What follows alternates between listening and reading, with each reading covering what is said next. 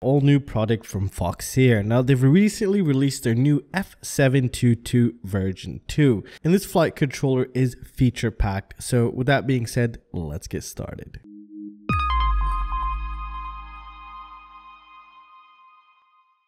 So in today's video, we're going to be covering quite a lot. So the timestamps will be linked down below, also shown in the video progress bar. So you can skip to whatever part of the video you would like. Some of the things we're going to be taking a look at are the accessories, also advanced breakdown, and a basic setup guide for the FPV camera. So for the veteran flyers out there, we have the advanced breakdown. And for the beginners, we have the basic setup guide of how to connect your FPV camera, video transmitter, and as well as your receiver. So let's take a look at some of the accessories first here. So obviously we do get the flight controller itself, which we're going to take a closer look at in a bit. And it comes in a simple box just like this. And you also get four rubber grommets, and that's about it here. Now, Foxeer is in the works of a new ESC that's supposed to be one of the best for 6S. This is what I've heard, and I guess we'll get to see that as time goes on. And with that being said, let's go ahead and jump into the advanced breakdown. So let's go ahead and break down the Foxeer F7 here. So as the name implies, it is using an F7 microcontroller unit and we can see that there. However, in the first release, they were rocking the dual gyro, but here we only have one and it's the MPU 6000 if you could read that. So we're using MPU 6000 gyro.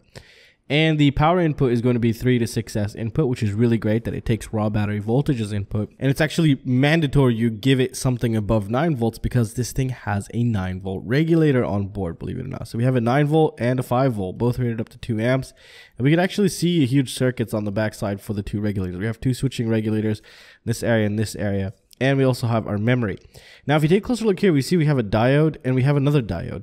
I'm guessing, okay, this is a guess right here. This is a TVS diode, which is a transient voltage suppression diode, which basically limits high voltage spikes into the system. But again, I could be wrong, but I am 90% certain that's what that is. And that's a really nice thing to see. It's kind of like a low ESR capacitor in a way. It just cuts off the uh, the high voltage spikes. And it, it's really important because this is where all your sensitive stuff lies. You have your MP6000, your OSD, your flight controller. This is the, the main operation of the flight controller. So it's really nice they've done that. They have two, one on the top side one on the bottom side. I'm guessing this is a normal diode. You can tell it's very close to the VCC and ground. And this is the area where you actually connect your ESC right here. So if you ever flip those by accident, then you have a high probability of not burning your flight controller if that works as uh, I think it should work. So that's a nice possible safety feature here. So now let's go ahead and cover the connection. So if you wanted to plug in a 4-in-1 ESC, you do have a connector, but at the same time, if you look at the bottom side, you also have access to every single thing of that connector right here. So you could solder direct to this if you wanted to, and or use the connector up here.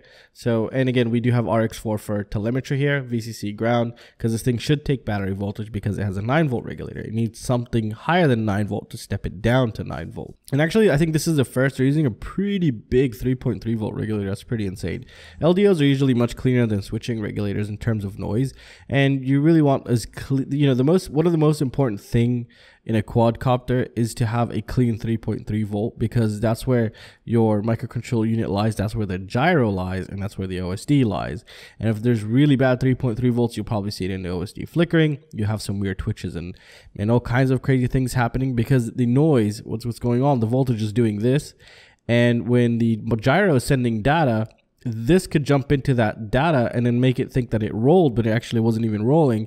And that's when you get stuff that's completely untunable. So there are some flight controls like that, but it's really rare that we run into these nowadays. So again, it's really nice that we have all this filtration on board and they are in the works of an ESC. So I'm very curious to see how that's going to stack up. Now for UART ports, you basically have two usable. And what I mean by usable is you could use them to whatever you want, not including the receiver, not including the telemetry, and also not including the smart audio protocol. Those are all covered. You have TX5 for smart audio, you have uh, UART4 for ESC telemetry, and you also have uh, UART1 for the connection for your receiver. So you're left with two UARTs that you could use to whatever you want here, which is it's a nice touch here. So it's really good that they've utilized uh, as much of the pads as they can here. So we can see here's a TX3. So you could take uh, here's TX3 and RX3. So you could use whatever you want. And you also have another one here. You have UART2 here available for you. Also next to some power, which is really nice to see. You also do have motor 5 and 6 outputs. Again, really good. We don't see that that much nowadays, actually. And uh, if you wanted to bridge, for example, if you wanted to give 9 volts to your camera, then you would want to bridge these two together. Right now it's bridged into the 5 volt configuration and by default always double check these because if there is no solder here then your VTX and your camera won't get power. And right here under this you actually see three pads and if you bridge these two together then you get 9 volts and if you bridge the middle one with the bottom one you get 5 volts but make sure you only bridge two you know more than that. So this is the VTX section. See ground 9 volt uh, your yellow wire and your uh, smart audio protocol. And if you had a 5 volt VTX, which is really nice, you just uh, bridge those two. And uh, that's it. Same exact connection, which is really nice to see here. It's a nice touch. And actually, that's really it for the advanced breakdown. There's nothing else to it. Uh, what you can do is also, again, this is really uh, DJI friendly in a way. I like to say friendly, not re or ready, basically, because you don't have just that connector that connects the DJI stuff, but you can totally use it here because you have that 9 volt, you have an extra UART here, really nice stuff really nice stuff so yeah that's really it so overall it looks like a pretty decent flight control i will be using it it's priced at a pretty average price around 30 bucks currently i'll have it linked down below and uh, let's go ahead and jump into the beginner setup guide right now all right, so now let's go ahead and jump to the FPV camera. But before connecting it, you need to take something into consideration here. This piece right here. And what that is right there is basically three pads. And this will allow you to choose the output power that's going to go to your camera. And it's a very simple choice 5 volts. Always choose 5 volts. So make sure you take a look at the board and you see the middle pad with the right pad bridged. As you can tell right there, we see those bridged. And that means it's outputting 5 volts. And if the middle one with the left one is bridged, then it's outputting 9 volts. And if your camera can't take 9 volts, then you're more than likely going to fry it. So make sure the 5 volt is bridged. Very important you do that before connecting it. All right, so let's go ahead and start with the power, which is right here. This is the red wire from your camera. You're just gonna go ahead and connect it to the positive right there. And again, make sure you have five volts selected. Next, we're gonna need the ground, also related to the power. And it's very simple, pretty good labeled, as you can tell, ground, we got it. And the last one is video. Now, video, you might be like, why the hell do we put our video line into our flight controller and not our video transmitters directly? Well, the reason for that is because of this guy right here. The video line comes in, goes to this chip. This chip puts the battery info, how long you've been flying, your GPS location, puts all that information on your video feed, and then sends it down to your goggles with all that useful information. And that is the reason why we go ahead and connect our video lines to our flight controllers. But you could directly, you could also connect this yellow line direct to the video transmitter, but you won't have any of that information. So yeah, uh, that's something to take note of if you didn't know that. And that's it for the FPV camera. Let's move on to the next step.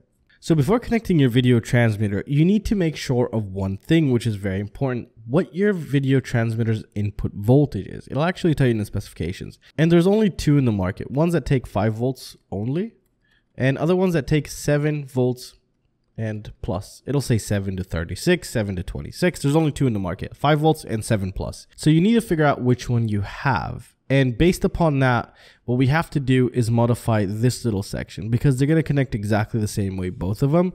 But before you connect them, you need to make sure what's going on here. So what you're seeing right here, it says 5 volt and 9 volt. And you're seeing the two 9 volt bridge. So these are actually three pads like this next to each other, kind of like these three right here, like that. But since it has solder on them, you don't really see that.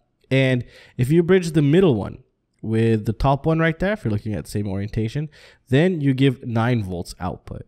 And if you bridge the middle one with the bottom one, like that, then you would get 5 volts output. So if you had a 5 volt video transmitter, you're going to want to bridge those two together. Make sure only two are bridged together, the middle one and the bottom one.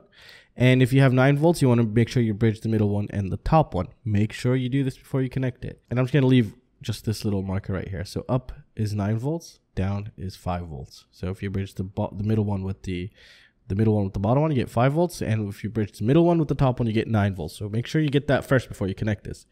So let's go ahead and get started. Every video transmitter basically has three main wires and a couple extras if you want to connect, which we'll also slightly cover in this video. We're going to cover the main ones, which are the most important. So first of all, we need is VCC. And maybe on your video transmitter might say uh, the 7 to whatever volts here, or might say input, voltage input, not the 5 volt out. Never connect anything to the 5 volt out because that's just a 5 volt output. So we're going to go ahead and grab this one.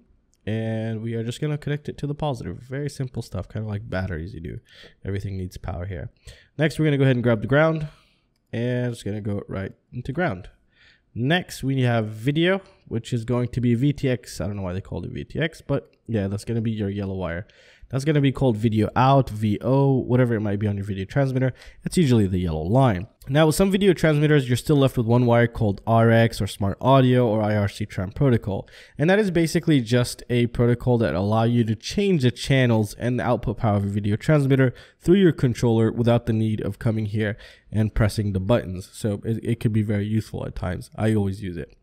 And where you'd want to set that up would be right here on TX5. And once you've set that up on TX5, in Betaflight configuration, you need to go to the ports tab that's on the left and you'll find UART5 and you go down to peripherals and choose whether it's a smart audio or IRC Tramp protocol. And just like that, you'll have that activated and do a couple Google searches, you'll know how to actually use it. And that's it for connecting video transmitter. The most important part is to check what is bridged for the power output.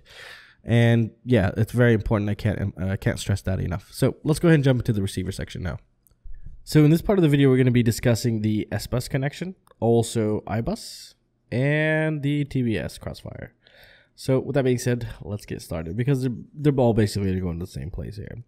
So as you can tell, we have the word RC, which means remote control. I don't know why they do this. But as we can tell, it's next to a TX1. So that's where we're going to want to connect our S-Bus signal, for example. We'll just start with S-Bus since it's right in front of us here. So let's go ahead and set that up to right there. So now we have it set up on RC. You can read RC. We have TX1 and RC. And just like that, we have our S-Bus signal. However, also, if you had iBus, you would put it into the same exact place right there. And if you had the TBS crossfire, let's actually write that down here. We'll say TBS. Usually there's two wires, R and an X. So we'll say RX and TX. So it has two wires usually. And what you'd want to do here is you actually want to set up the TX the same place as the iBus and the S-Bus. And the RX, which I should actually move on the other side, and the RX of the TBS uh, receiver, you're going to want to set up right here, right there. So we'll just say boom, just like that. And like that, you'd have your TBS crossfire set up right here, your iBus and S-Bus. Next thing we need is power. Very simple stuff. Your red wire on your receiver is going to go into 5 volts, and it's going to be slightly messy now. And it's going to go to that 5 volts right there. And then the last one's going to be ground. So let's go ahead and grab ground. And we're going to say it's also going to be slightly messy. So we're going to have to kind of go over these a little bit. Boom, boom. And there we go, right there. And just like that, we have everything set up. This will be used on a build very soon. Uh, I think it's going to be set up on a DJI build. I really want to try this out. And Fox is also working on new ESC, so it's going to be pretty interesting to see what the hell they're going to do. And again, everything is linked down below if you could check those out. It's great support the channel. And also, I do have a Patreon. Come check it out. If you like what you see, join. If you don't, then don't. And I'll see you guys in the next one. Peace out.